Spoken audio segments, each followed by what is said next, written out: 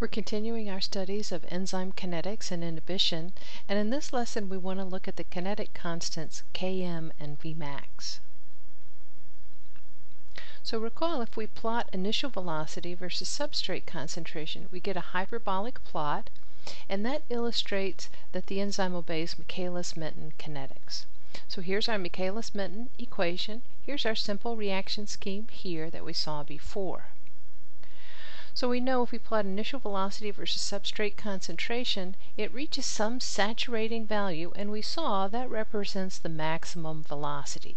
So we can estimate Vmax simply from our curve. Now recall our Vmax is equal to K2 times the total concentration of enzyme. And so we can rearrange that equation a little bit.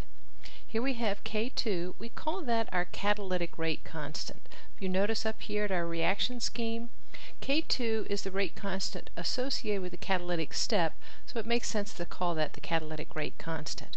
So again, our expression here, K2 equals Vmax divided by the total concentration of enzyme. This is the turnover number of the enzyme. Let's look at that a little bit more. Recall that at Vmax the enzyme is fully saturated with substrate, so we're at the maximal rate of product formation. So again, here's our expression for kcat. This is our turnover number. In other words, it's the number of substrate molecules that can get that get converted to product per enzyme per unit time. Remember our first video lesson? We saw that the reaction velocity is dependent on the amount of enzyme. And so we want to normalize our expression and say not just what is the velocity, but what's the velocity per enzyme? In other words, how fast is each molecule working? So here's a table of some catalytic constants from your book, and here's our rather impressive enzyme carbonic anhydrase with a, a kcat of 1 million. In other words, in one second, it can convert 1 million substrate molecules to product. That is to say, every enzyme is working that fast. That's the maximal velocity. So we see that whether we're referring to kcat or Vmax, they are directly related to one another. So the higher the value of the Vmax, the higher the value of kcat. Let's look at some of, some uh, comparative turnover numbers. Here's carbonic anhydrase at the top of our list, pretty impressive at a million. Look at the bottom of the list here, lysozyme, 0.5. In other words, in the time it takes lysozyme to carry out its reaction once, carbonic anhydrase has done it 2 million times. That's quite a difference. And as you can see from the list here, there's quite a lot of variability in terms of that turnover number. Well, we saw from our graph how we could estimate Vmax. What about Km? So again, at the top is our simple reaction scheme, and I'll just remind you that Km is the collection of rate constants. It's the ratio of the rate at which the enzyme substrate complex resolves compared to the rate at which it forms. So remember, if K1 is large, it rapidly binds substrate, then Km gets small.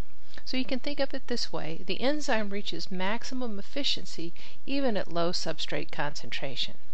So if we rearrange our term here at the bottom of the screen, we have uh, a sum of two expressions. The first represents the dissociation constant, simple ratio of the rate at which it dissociates versus the rate at which it associates. And so the point here is just to say that there's more to this expression than just a dissociation constant. We'll refer to Km as a measure of substrate affinity, and indeed it is, but there is more involved than that. You'll notice too that Km is a capital K. It's a constant, but it is an equilibrium constant. Remember, it's a ratio of the tendency to resolve versus form, and that represents an equilibrium. So now we want to see how we can estimate Km from our graph. So here's our hyperbolic plot. Again, this is our Michaelis-Menten equation at the top here. We want to consider the special circumstance when the substrate concentration is equal to Km. So I've substituted that in at the bottom left of the screen here. Here's our Michaelis-Menten equation, and we're substituting the concentration of S for Km because in this case they're equal. When we do that, our expression simplifies to 1 half Vmax. In other words, when substrate concentration equals Km, our velocity is half maximal. That gives us more of a conceptual, practical definition for Km. Km is the concentration of substrate where the velocity is half maximal. So the units for Km are going to be the same as the units for substrate.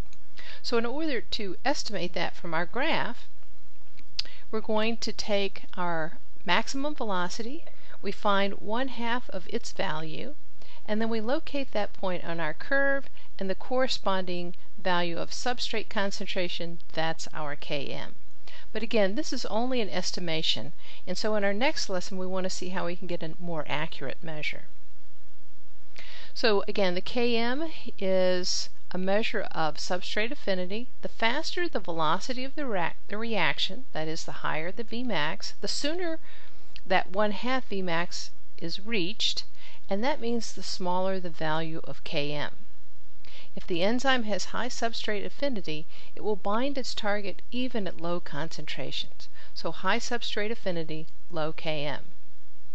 It's a measure of the concentration of, sub, of substrate that is required in order for significant catalysis to occur. In other words, if the substrate concentration drops below Km, you're not going to get much product over time. It's often a pretty good approximation of the concentration of that substrate in vivo inside the cell. So let's compare our enzymes again. So here's carbonic anhydrase at the top of our list. Its Km for its substrate is 8,000 micromolar.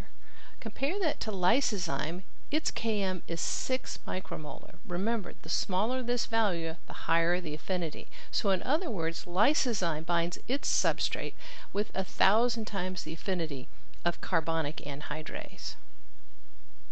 So the question is, what's the best measure for catalytic efficiency? Is it Km, or Vmax, or some combination of the two? Is there a limit to that efficiency? And we want to find a more accurate way to measure Km and Vmax rather than just estimating them. So we'll consider these things in our next lesson.